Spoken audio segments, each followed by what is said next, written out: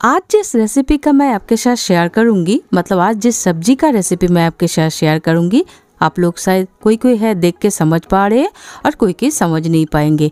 But इस सब्ज़ी को बहुत सारे लोग हैं, खाना पसंद नहीं करते। बट ये हमारे हेल्थ के लिए बहुत अच्छा होता है। खास करके इस सीज़न में, जब कि हमारा सीज़न चेंज हो रहा है मतलब ठंडी से गर्मी आ रहा है। बहुत सारी जगह में गर्मी पड़ भी गई है। सो इस सीज़न में हमारे हेल्थ का बहुत ही हालत ख़राब होता है। किसी किसी बच्चे को तो बहुत ही ख़राब होता है। हमें भी होता है। ज़ुकाम होता है, सर्दी होता है फीवर होता है और इस सब के बाद हमारा मुँह का टेस्ट बिगड़ जाता है। तो मुँह का टेस्ट बिगड़ जाता है और हेल्थ के लिए भी अच्छा होता है। ऐसा कुछ सब्ज़ी अच्छा हो ऐसा खाना चाहिए। तो मुँह का टेस्ट भी आ जाएगा आपका हेल्थ के लिए भी अच्छा होगा क्योंकि ये बिना आ, मसाले के होगा कम तेल का होगा। तो चलिए और सस्पेंस ना क्रिएट करके मैं बता देती हूँ मैं कौन सा रेसिपी आज आपके साथ शेयर करूँगी। एक करेले का रेसिपी मैं आपके साथ शेयर करूँगी। तो मैं शाश्वती सभी को वेलकम करके आज का रेसिपी मैं स्टार्ट करती हूँ सभी को मैं आपको आप सभी को मैं वेलकम करती हूँ मेरे channel cooking with S G में।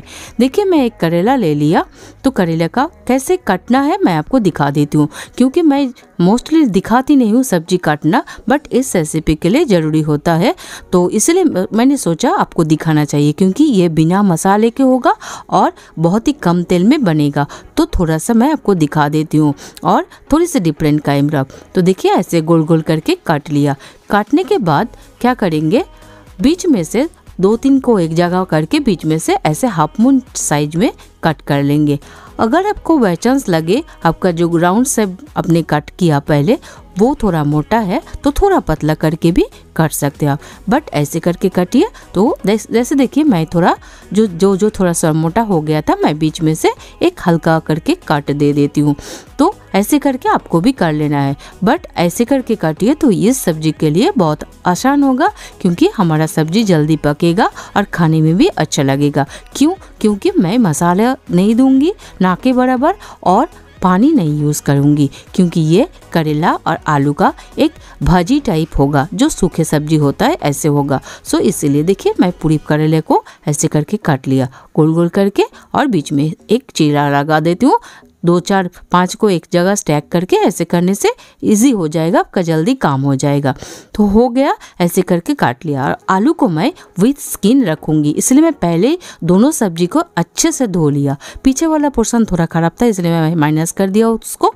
आलू को भी ऐसे पहले गोल गोल करके, एकदम बहुत ज़्यादा पतला करने की ज़रूरत नहीं, क्योंकि करेला के साथ हमें इसको मतलब एक सामान काटना है। तो इसको भी गोल गोल काट के दो चार गोल को एक साथ कर लिया, बीच में से लंबा लंबा ऐसे करके काट लगा लिया। देखिए, मैं आपको दिखा देती हूँ।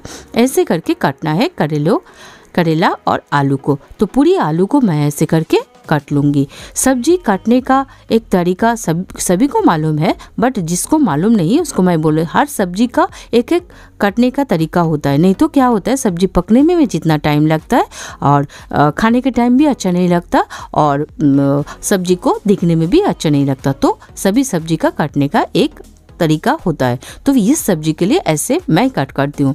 और देखिए, मैं चार पाँच लहसुन के कलिया ले लिया, एक ग्रीन चिली जो कि थोड़ा सा रेड रेड हो गया, उसको मैंने ले लिया। मैं पर्पसली इसलिए लिया ऐसे करके मुझे अच्छा लगता है, ऐसा ग्रीन चिली जो रेड हो गया, थोड़ा तीखा ज़्यादा होता है। तो बीच में मैं एक स्लिट लगा दिया। ज़्यादा तीखा नहीं करेंगे, इसलिए एक ले लिया। लहसुन को मैं ऐसे चाकू से ऐसे, देखिए क्रॉस कर रही हूँ। ऐसे करके देने से इस सब्ज़ी का टेस्ट बहुत ही अच्छा होता है। काट के मत दीजिए, जैसे मैं दिखा रही हूँ, ऐसे करके दीजिए। नहीं तो आप हल्का कूट लीजिए। बट ज़्यादा कूटिए मत। जैसे मैं कर रही हूँ, ऐसे करके कर लीजिए। बहुत ही ईजी है। तो कर लिया मैंने, उसके बाद प्याज ले लिया। एक प्याज, ज़्यादा प्याज नहीं चाहिए, मैं मीडियम साइज़ का एक प्याज ले लिया। इसको भी मैं थोड़ा सा लंबा लंबा करके काट लूँगी। देखिए, मैं आपको दिखा देती हूँ कैसे करके काटना है। सेम जैसे मैं सब्ज़ी काटा ऐसे करके काटने की कोशिश कीजिए। तो आपका, जैसे मैं बोला रेसिपी अच्छा होगा और खाने में भी अच्छा होगा और कुकिंग टाइम भी आपको जल्दी हो जाएगा। देखिए मैं काट लिया, सभी सब्ज़ी को मैं काट के दे ये जो रेसिपी है ना, आपको चावल के साथ बहुत अच्छा लगेगा। और जिसे थोड़ा सा सूखा सब्ज़ी पसंद है और करेला पसंद है, उसे रोटी के साथ भी बहुत अच्छा लगेगा। तो मुझे तो राइस के साथ बहुत अच्छा लगता है। इस सीज़न में ये सब्ज़ी खाना चाहिए। हो गया हमारा देखिए, सभी वेजिटेबल मैंने काट कर लिया। अभी चलिए, मैं कुकिंग करने के लिए सभी कुछ रेडी कर लिया, अभी गैस के सामने जाएँगे। उससे पहले आलू और करेला को काटने के बाद एक बार सब्ज़ी धोना चाहिए, क्योंकि आलू से थोड़ा स्टार्च निकलता है। तो सभी, दोनों सब्ज़ी को मैं और एक बार धो के मैं आपको मिलती हूँ गैस के सामने। चलिए मैं इसको एक प्लेट में ले लेती हूँ। तो ये, जैसे कि मैं बोल रही थी, ये सब्ज़ी इस सीज़न में एक बार करके खाइए। जो नहीं खाता, थोड़ा करेला, वो भी खाएगा, क्योंकि ये एकदम जो कड़वा होता है, कड़वा के डर से बहुत सारे लोग खाना नहीं चाहते, बहुत अच्छा होगा, क्योंकि मैं पानी बिल्कुल नहीं यूज़ करूँगी। करेले में पानी देने से थोड़ा कड़वापन ज़्यादा हो जाता है। तो ऐसे करके मैं आज बनाऊँगी। तो एक बार मेरे जैसे करके बना के आप लोग घर में खाइए। हो गया, देखिए मैं धो के रेडी कर लिया और कढ़ाई भी बिठा दिया, गैस को जला दिया, मैं कढ़ाई गरम करके मैं दे दूँगी सरसों का तेल। मैं सरसों का तेल में करूँगी। ऐसा नहीं मैंडेटरी है। आपको भी सरसों का तेल में करना है बट सरसों का तेल में एज यूजल मैं जैसे बोलती हूँ, बहुत अच्छा होता है सरसों का तेल। कोई भी सब्ज़ी का टेस्ट ना ज़्यादा हो जाता है बट कोई प्रॉब्लम नहीं, आपको अच्छा नहीं लगता, आप मत कीजिए अब कोई भी कुकिंग ऑयल में कर सकते हैं। तो सरसों का तेल को बहुत अच्छे से गर्म करके मैं फ़र्स्ट क्या करूँगी? जो ग्रीन चिली मैंने लिया था, स्लिट करके रखा, उसको मैंने दे दिया। और थोड़ी सी मैं दे दूँगी कलौजी। कलौजी आप सभी को मोस्टली पता है, कलौजी हमारे हेल्थ के लिए भी अच्छा होता है, पेट के लिए भी अच्छा होता है और बालों के लिए भी बहुत अच्छा होगा। तो और इस रेसिपी में कलौजी देने की कोशिश कीजिए। ज़ीरा मत दीजिए। तो नहीं है तो मत दीजिए कलौजी बट जीरा मत दीजिए, नहीं तो टेस्ट बिगड़ जाएगा। और जो कटा हुआ ऑनियन था, वो दे दिया। थोड़ी देर मैं इसको चला लूँगी। चलाने के बाद मैं नेक्स्ट स्टेप में जाऊँगी। हो गया थोड़ी देर जस्ट मतलब थोड़ा सा सॉफ्ट होना है, थोड़ा सा पाँच से टेन सेकंड इसको फ्राई कर लीजिए। उसके बाद आलू करेला मैंने धो के रेडी करके रखा, उसको भी दे दूँगी। देखिए, आलू और करेला को मैं दे दिया। अभी नेक्स्ट स्टेप में जाएँगे। सब्ज़ी को बनाने के। बहुत इजी बन जाता है। इसको बनाने में काटना मैंने दिखा दिया कैसे काटना है। बनाने में थोड़ी सी मतलब स्लो में पकता है क्योंकि हम इसमें पानी यूज़ नहीं करेंगे, लेकिन बनाने में कोई झंझट नहीं है। और इस सीज़न में ये सब्ज़ी सभी को खाना खाना चाहिए और घर में खाने का, सबको खिलाने का कोशिश भी कीजिए।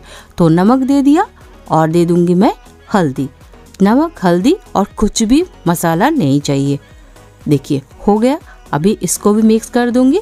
मिक्स करके मैं इसे थोड़ा, थोड़ी देर इसको चला लूँगी। थोड़ा खुले में मीडियम आँच में इसको पका लूँगी। इस टाइम आँच को थोड़ा सा मीडियम रखिए।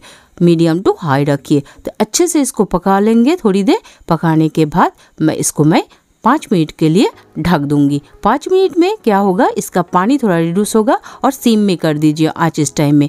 जो पानी रिड्यूस हो जाएगा, उसी में ये सेवेंटी परसेंट पक जाएगा। बट बीच बीच में मैं इसको एक बार देखिए, पाँच मिनट बाद मैं रिटर्न आया, बट मैं ऑफ़ कैमरा एक बार इसको चला दिया था। इसका पानी थोड़ा ड्राई हो गया इसलिए मैं एक बार चला दिया था। पाँच मिनट बाद देखिए, अब मैं आपको दिखा देती हूँ, आलू और करेला मेरा सेवेंटी परसेंट करीब पक गया। देखिए, मेरा आलू बॉयल हो गया और जो करेला है, वो भी बॉयल हो गया। तो क्या करेंगे अभी? जो लहसुन मैंने रेडी करके रखा था स्मैश करके, वो दे दिया। इस टाइम में देना है। लहसुन को पहले मत दीजिए। नहीं तो क्या होगा? लहसुन का जो एक बार्न टाइप का एक खुशबू आएगा ना, इस रेसिपी में बहुत अच्छा लगेगा। क्योंकि अभी मैं और इसको थोड़ी देर के लिए एक बार ढकूँगी, और कुछ नहीं। और पानी यूज़ नहीं करूँगी। और अभी क्या करेंगे? इसको थोड़ी देर चला दिया। जो लहसुन दिया, बहुत अच्छा एक खुशबू आएगा भीनी भीनी लहसुन फ्राई होने का थोड़ा सा मैं नॉर्मल रेड चिली पाउडर दे दिया और कलर के लिए मैं दे दिया थोड़ा सा कश्मीरी रेड चिली पाउडर ये ऑप्शनल है, आपको नहीं चाहिए तो मत दीजिए। बट ये देने से क्या होता है ना, हमारा सब्ज़ी का तो थोड़ा सा क्रंचनेस आएगा और खाने में भी तीखा तीखा थोड़ा अच्छा लगेगा। बट बहुत तीखा मत कीजिए, क्योंकि ये थोड़ा हेल्दी सब्ज़ी है। हो गया, देखिए मैं चला लिया, इसको फिर से दो से तीन मिनट के लिए ढक दीजिए सेम करके। आँच को सेम कर दीजिए, नहीं तो नीचे जल जाएगा, क्योंकि मसाला भी नहीं है, पानी भी नहीं है। सो पानी यूज़ मत कीजिए। जैसे ये भाप में पक जाएगा। हो गया, देखिए, तीन मिनट बाद मैं रिटर्न आया, थोड़ा नीचे जल, एकदम ब्राउन ब्राउन हो गया, जलने का जैसा बट डरिए मत, ये ऐसा ही होगा। बीच में जब लास्ट में देखिएगा, कढ़ाई छोड़ के आ जाएगा, तभी आपको सोचना है कि आपका करेला पक गया, पूरी तरह तैयार है इस रेसिपी के लिए। थोड़ा सा इसलिए ऐसे स्प्रेड कर दीजिए। स्प्रेड करने के बाद मैं अभी और नहीं ढकूँगी इसे। थोड़ी देर ऐसे करके तीन से चार मिनट में धीरे धीरे ऐसे चलाते रहूँगी। आप भी ऐसा कीजिए। आँच को एकदम सिम में रखिए। लगे आपको थोड़ा कम हुआ तो थोड़ा ज़्यादा कीजिए। फिर से सिम कर दीजिए। ऐसे करके बट हाई हट में मत कीजिए। देखिए, अभी कढ़ाई छोड़ के आ रहा है। मैं आपको दिखा देती हूँ।